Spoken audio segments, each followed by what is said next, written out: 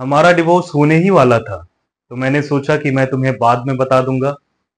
मैं जानता हूँ कि मैं थोड़ा सेल्फिश बन गया था। मुझे लगा कि अगर मैंने तुम्हें सच बताया तो तुम मुझे छोड़ के चली जाओगी।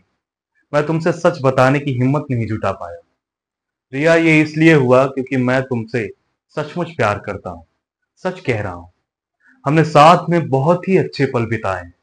तुम ही मेरी सब कुछ थी, लेकिन तुम हमेशा कहती रहती थी कि तुम मुझसे ब्रेकअप कर लोगी।